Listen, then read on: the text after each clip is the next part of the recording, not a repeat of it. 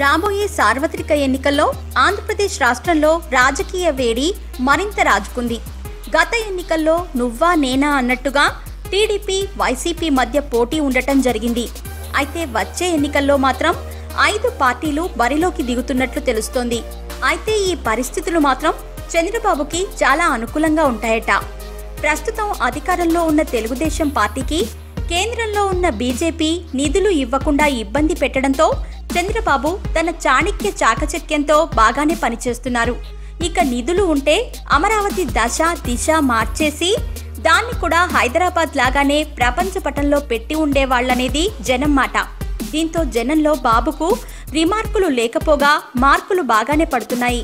దీనికి తోడు బీజేపీ నిధులు ఇవ్వకుండా మోసం చేసిందనే సానుభూతి కూడా చంద్రబాబుపై ఉంది. ఇలాంటి సమయంలో బాబుతో తెగతింపులు చేసుకున్న బీజేపీకి తలవంపులు తప్పవంటున్నారు రాజకీయ విశ్లేషకులు. బాబు లేకపోతే బీజేపీకి ఏపీలో పొలిటికల్ జాబ్ ఉండదనేది మేధావుల మాట. బీజేపీ అత్యుత్సాహం కూడా ఓ రకంగా బాబుకు మేలు చేసింది. ఏపీకి రూపాయి కూడా విదల్చకుండా కాషాయం పార్టీ అప్రతిష్ట మూటగట్టుకుంది.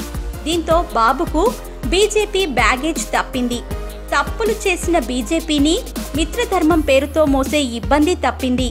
ఇదే ఇప్పుడు బాబుకు అడ్వాంటేజ్గా మారనుందంటున్నారు మేధావులు. వచ్చే ఎన్నికల్లో ఆంధ్రప్రదేశ్ రాష్ట్రంలో టీడీపీ వైసీపీ పవన్ ప్లస్ వామపక్షాలు కాంగ్రెస్ బీజేపీలు రాజకీయ రణరంగానికి రణభేరులు మోగిస్తున్నాయి. అంటే ఐదు ముక్కలాట.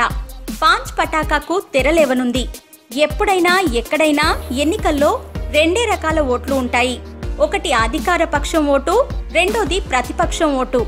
చంద్రబాబు ఓటు ఎలాగో ఆయనకుంటుంది. విపక్షాల ఓట్లు మాత్రం నలుగురి మధ్య నాలుగు రకాలుగా నాలుగు దిశల్లో చీలిపోనున్నాయి. ఇటువంటి పరిస్థితుల్లో ఓట్లు చీలిపోవటంతో ఈ పరిణామాలన్నీ చంద్రబాబుకు అనుకూలమట. అంతేకాకుండా తెలుగుదేశం పార్టీలో నుండి పక్కకు వెళ్ళిపోయిన బీజేపీ వల్ల కూడా తెలుగుదేశానికి లాభమని రాజకీయ విశ్లేషకులు అంటున్నారు. దీంతో వచ్చే ఎన్నికల్లో తిరిగి మళ్ళీ తెలుగుదేశం పార్టీ అధికారంలోకి వస్తుందని అంటున్నారు. ఈ వీడియో గనక మీకు నచ్చినట్టయితే లైక్ చేయండి షేర్ చేయండి సబ్స్క్రైబ్ చేసుకోండి.